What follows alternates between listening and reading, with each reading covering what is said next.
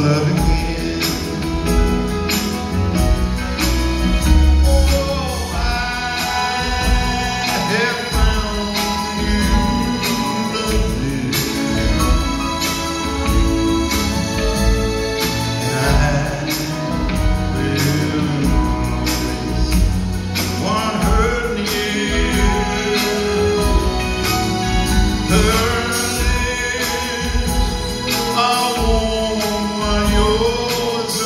I